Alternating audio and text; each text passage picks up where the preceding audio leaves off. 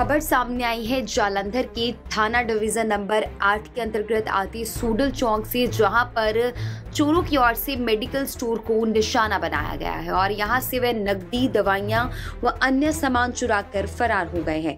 आपको बता दें, सूडल चौक स्थित निपुण फार्मेसी के मालिक ने बताया कि उन्हें सुबह इस बारे में सूचना मिली उनकी उनकी दुकान का शटर उखड़ा हुआ है। चोर नकदी, दवाइयाँ व अन्य सामान जो है वो वहाँ से चुरा कर लिए गए थे। दुकानदार ने रोष ज़ाहिर करते हुए कहा है कि यदि यही हाल रहा तो वे व्यापार नहीं कर पाएँगे।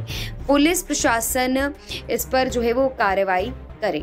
क्योंकि कुछ दिन पहले भी उनके पास के जो मेडिकल स्टोर में चोरी हुई थी, वहीं ये पूरी जो घटना है, इनके मेडिकल स्टोर में जो चोरी हुई है, उसकी ये पूरी घटना सीसीटीवी कैमरास भी कैद हुई है और सीसीटीवी तस्वीरें भी सामने आई है, जिसमें तीन युवक बाइक पर नज़र आ रहे हैं, जो कि चोरी की वारदात को अंजाम देते हैं वहीं मौके पर पहुंची पुलिस का कहना है कि वो मामले की जांच कर रहे हैं वहीं सीसीटीवी के आधार पर लगातार तलाश जारी है आप भी डालिए जालंधर की हिस्ट्री के लिए सुनील महाजन की इस रिपोर्ट पर एक नजर ਕੁਛ ਨਹੀਂ ਦੁਕਾਨ ਜਿਹੜੇ ਖੋਲਣ ਲੱਗੇ ਤੇ ਦੇਖਿਆ ਸ਼ਟਰ ਟੁੱਟਾ ਹੋਇਆ ਪਿਆ ਹੈ ਤੇ ਅੰਦਰ ਜਾ ਕੇ ਦੇਖਿਆ ਕਿ ਚੋਰੀ ਹੋਈ ਪਈ ਹੈ ਸਾਡਾ ਕੈਸ਼ ਕੱਢਿਆ ਹੋਇਆ ਹੈ ਪਲੱਸ ਸਾਡਾ ਉਹਦਾ ਨੁਕਸਾਨ ਕੀਤਾ ਹੋਇਆ ਸਮਾਨ ਸਮੂਨ ਚੱਕ ਕੇ ਲੈ ਗਏ ਹੈਗੇ ਕਿੰਨੇ ਦਾ ਨੁਕਸਾਨ ਹੋਇਆ ਤੇ ਤਕਰੀਬਨ 50-60 ਹਜ਼ਾਰ ਦਾ ਨੁਕਸਾਨ ਹੋ ਗਿਆ ਜਿਹਦੇ ਚੋਂ 40-45 ਹਜ਼ਾਰ ਦਾ ਕੈਸ਼ ਹੈਗਾ।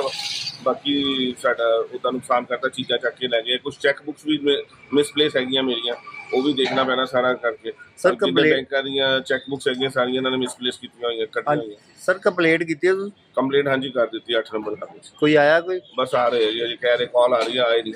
ਤੇ ਜਿਹੜੇ ਕੈਮਰੇ ਸਰ ਉਹਨਾਂ ਨੇ ਉੱਪਰ ਕੀਤੇ ਹਾਂਜੀ ਸਾਰੇ ਕੈਮਰੇ ਉਹਨਾਂ ਦੇ ਉੱਪਰ ਕਰ ਦਿੱਤੇ ਦੋਨੋਂ ਸਾਈਡ ਦੇ ਕੈਮਰੇ ਸਾਰੇ ਉੱਪਰ ਕਰ ਦਿੱਤੇ ਹੋਰ ਕੋਈ? ਹਾਂਜੀ। ਕਿਹੜੀ ਤਾਂ ਜਗ੍ਹਾ ਤੇ ਹੋਈ ਹੈ? ਹਾਂਜੀ ਸੋਡਲ ਚੌਂਕ ਦੇ ਵਿੱਚ ਹੈ ਜੀ ਨਿਪੁਨ ਫਾਰਮਾ ਬਾਕੀ ਤਾਂ ਹਜੇ ਪੁਲਿਸ ਆਏਗੀ ਤਾਂ ਅੰਦਰ ਸਾਰੀਆਂ ਚੀਜ਼ਾਂ ਦੇਖਾਂਗੇ ਹੋਰ ਕਿੰਨੇ ਦਾ ਨੁਕਸਾਨ ਹੋਇਆ। ਮੇਨ ਮੇਨ ਜਿਹੜਾ ਅੰਦਰ ਜਾ ਕੇ ਨੁਕਸਾਨ ਹੈ ਬਾਕੀ ਕਿਸੇ ਚੀਜ਼ਾਂ ਨੂੰ ਅਸੀਂ ਹੱਥ ਨਹੀਂ ਲਾਇਆ ਹਜੇ ਤੱਕ ਪੁਲਿਸ ਨਹੀਂ ਆਈ ਹੈਗੀ। ਜਿੱਦੇ ਪੁਲਿਸ ਆਉਂਦੀ ਹੈ ਫਿਰ ਉਸ ਤੋਂ ਬਾਅਦ ਦੇਖਦੇ ਹਾਂ ਖੋਲਦੇ ਫਰੰਟ ਤੋਂ ਟਫਨ ਤਾਂ ਨਹੀਂ ਤੋੜਿਆ ਹੈਗਾ ਜਾਂ ਫ੍ਰਿਜ ਦਾ ਹੋਰ ਸਮਾਨ ਦਾ ਨੁਕਸਾਨ ਤਾਂ ਨਹੀਂ ਕੀਤਾ ਹੋਇਆ। ਕਿੰਨੇ ਵਜੇ ਹੋ ਗਈ?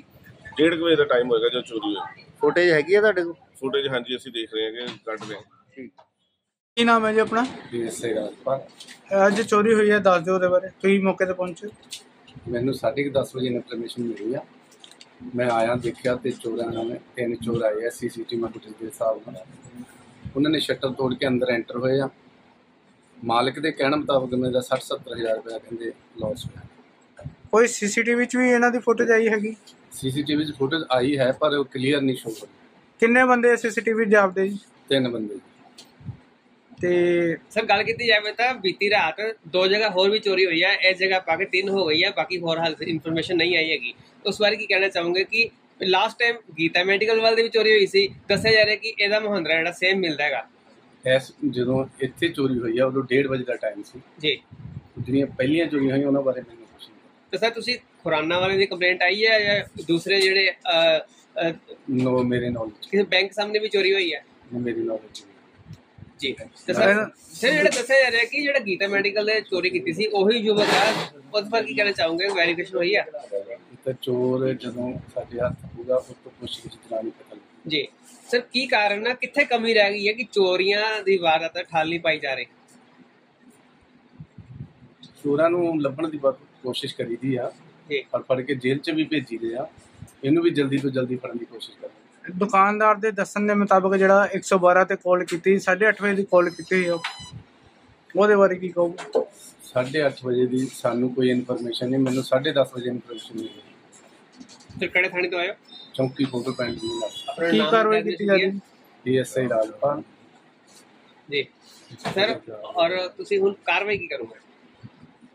ਕਾਰਵਾਈ ਲੜਿੰਦੀ ਕਾਰਵਾਈ ਬਿਆਨਾਂ ਦੇ ਆਧਾਰ ਤੇ ਜੋ ਬਣੂ ਜੋ ਕਰਾਂਗੇ।